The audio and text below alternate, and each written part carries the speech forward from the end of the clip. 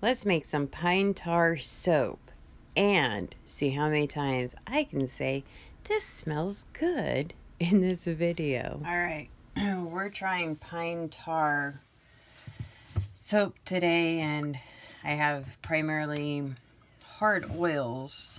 Because I was reading that you want to have a lot of oils that have stearic acid in them so you create a hard bar versus the softer oils or even some of the other regular oils create really soft bars. So I have 95% hard oils in here.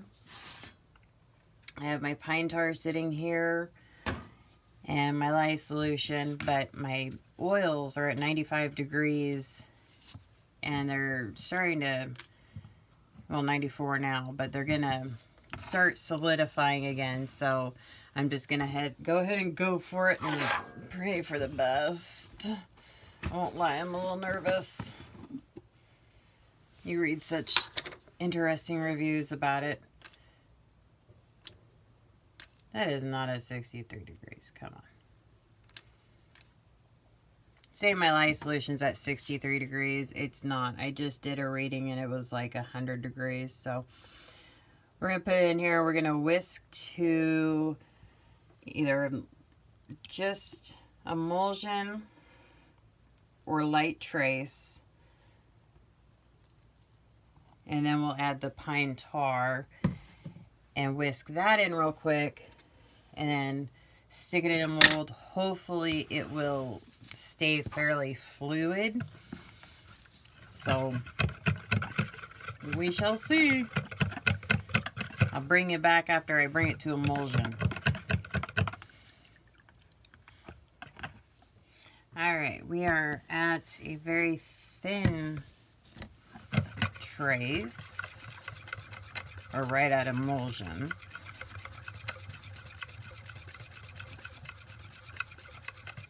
Sometimes it's hard to tell. I don't want to get it too thick because that pine tar is going to thicken it up fast. I've watched videos where it thickened up really, really, really fast. And other videos where it didn't. So it looks like we're at emulsion.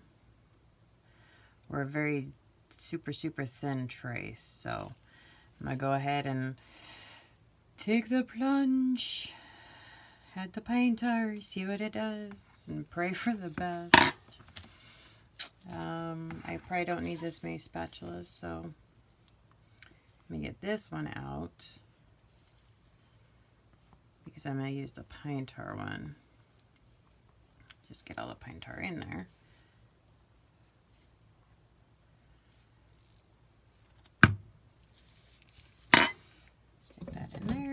And I warmed the pine tar up a smidgen. Let me get my mold over here just to be on the safe side. I have an extra mold in case I have overflow. But I warmed the pine tar up just a little bit so you can see it's a, let me move this.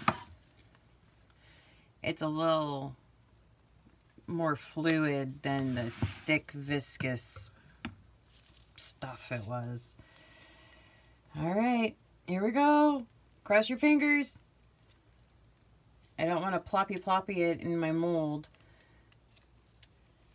So cross your fingers it doesn't accelerate too fast.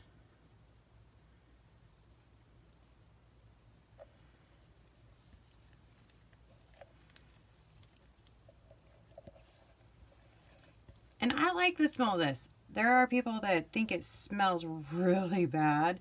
It smells very piney. There, there is some, of course, tar, tar smell because it is pine tar, but it's actually not that bad. I expected more funk, more of a smelly smell. Stir, stir, stir.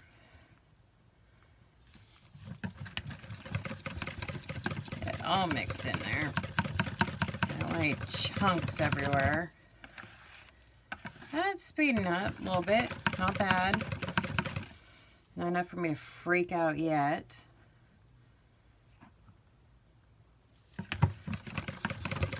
You can definitely feel it getting thick though. So I'm going to go ahead and get that out. Move some of these. Maybe we can get some of these bubbles out. Ooh, it's definitely heating up though. Stir it around a little bit more just to make sure we're incorporated.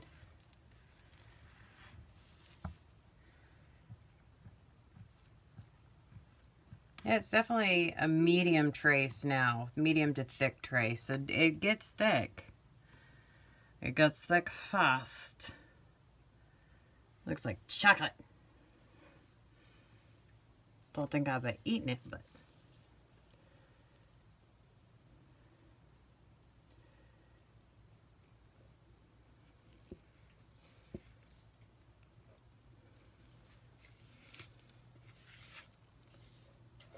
I can see little chunks of pine tar at the bottom. Not chunks, it doesn't really chunk up, it, um, see if I can stir that in a little bit. It, um, it's like when you do swirls. That's what it reminds me of. It's when you just have extra swirls everywhere.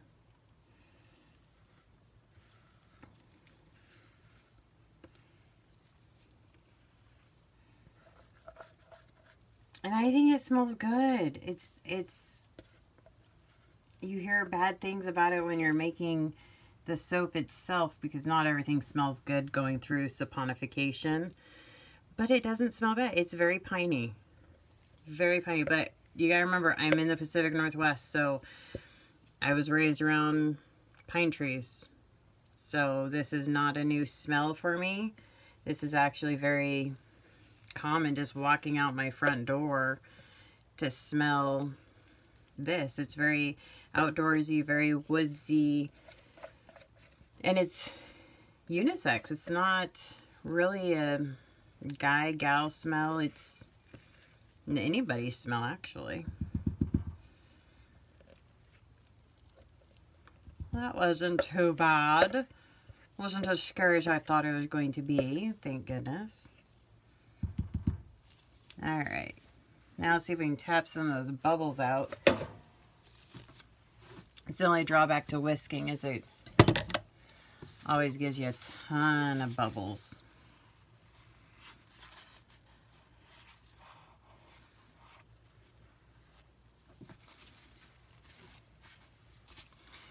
So let's see if we can get some of those out.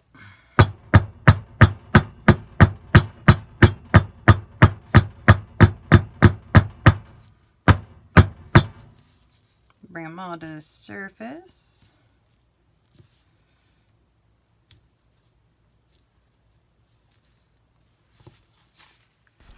So some of the reasons why I chose to do a pine tar soap is all the beneficial things that I've read about it. This is not medical advice. Please see your doctor for any of that.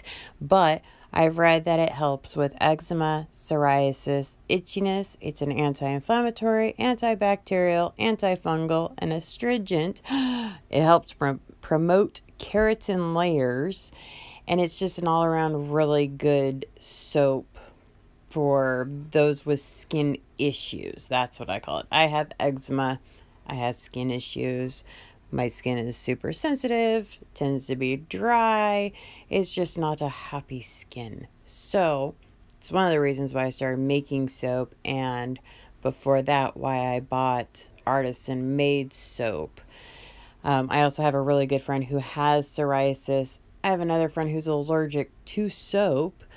And so it's fun trying new things to just see how it works. So I hope you enjoyed the video. Please click like and subscribe. And until next time, you guys have a great day.